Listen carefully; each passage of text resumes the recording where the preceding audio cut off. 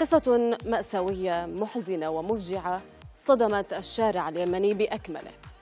هذه الطفلة علا غانم ابنة الإحدى عشر ربيعا من محافظة ريمة تعرضت علا للتعذيب والمعاملة الوحشية. وعلى يد من؟ أبوها وأقاربها قبل أن يقوموا ببيعها كجارية. تفاصيل القصة بقدر ما هي صادمة بقدر ما هي حقيقية للأسف. روتها بلسانها عبر تسجيل مصور تحكي فيه أن خالتها زوجة أبيها قتلت أختها الصغيرة. أما أخاها الأكبر فهرب من المنزل. عنفت وعوملت معاملة قاسية وبشعة.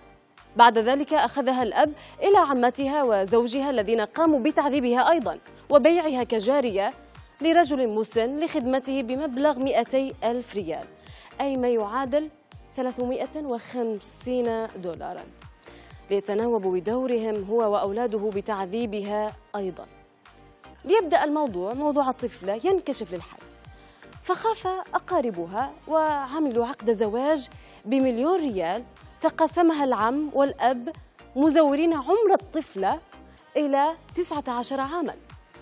خافوا أكثر وقرروا التخلص منها بإبلاغ الرجل المسن وأولادها بقتلها. لكن رحمة الله كبيرة بها. جعل من زوجة هذا الرجل تهرب الطفلة إلى أن وصلت منزل عاقل القرية. ومن ثم تم إبلاغ الجهات الأمنية بالجريمة التي تجاهلت الشكاوى. الطفلة علا تعرضت لجميع أنواع التعذيب ولا يوجد موضع في جسمها إلا وهو محروق أو مصاب.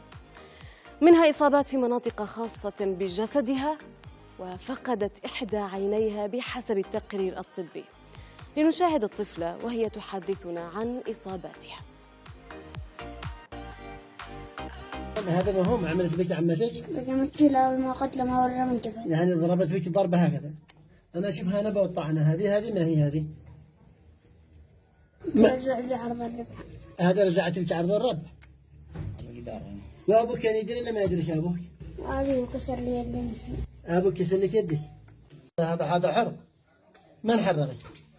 أمك كل هذا حرق هذا كله انحراق بإيش حرقتك؟ مانع. أه؟ مانع. بمفاير. فورت النحو هذا- وهذا شو؟ عينك هذه الآن. يني تشوفي هذه الآن. عينك تشوفي بها لا؟ لا أمضيها أمضي. تشوفيني ما بتشوفيش. من ضربك على عينك؟ عمتك من؟ مرت أبي مرت أبوك طيب هذه العين الآن تشوفي بها لا لا؟ هذه تشوفي؟ سنتك هذه قاعي أين سن هذا؟ من كسره؟ أمتي. عمتك من؟ مرت أبي كسرتان هي وفقعت لك عينك هي.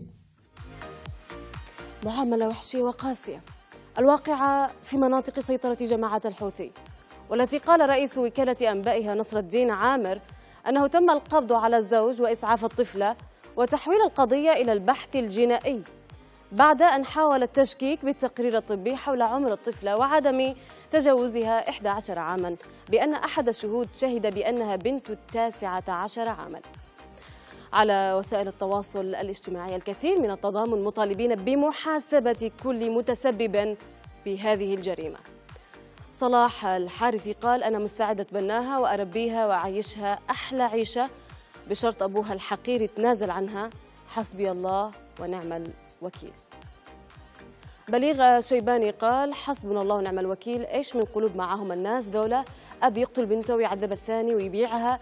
لو في دولة صح بيعدموا الأب وزوجته ويعلقوهم ثلاث أيام بالتحرير. أما آه، روان فعلقت والله تعبنا من اللي حصل ويحصل وبيحصل. البلاد حقنا من سيء لأسوأ. كل واحد يحيي ضميره ويتفقد اللي حوله واللي بقريته. أوقفوا الظلم ما استطعتم قد ما يتفاقم ونضل نفجع بقضايا جديدة. حسام المثنى قال على الله بس ما تستقطبها المنظمات. ذحين وترجعها ساعة هذيك اللي قبلها حق زمان اللي ما أدري إيش اسمه. وحسبي الله ونعم الوكيل بمن كان السبب بقضية البنت. أما على تويتر سابقا إكس قال سالم ربيح نحن أمام عدة جرائم مركبة قام بها مجموعة من الأشباح انسلخوا عن إنسانيتهم وتجاوزوا الوحوش المفترسة في وحشيتها. إن لم ننتصف لعل- لعلا وأخويها فلا نستحق الهواء الذي نتنفسه بعد أن تحولت القضية إلى رأي العام تحركت الجهات الأمنية وتابعها المحامي وضاح قطيش الذي تحدث عن آخر مستجدات القضية بضبط الأب والزوج وأحد شهود عقد الزواج وإيداعهم السجن وإرسالهم للنيابة للتحقيق معهم تمهيدا لمحاكمتهم وإصدار أوامر بضبط بقية من لهم صلة بقضية الطفلة علا.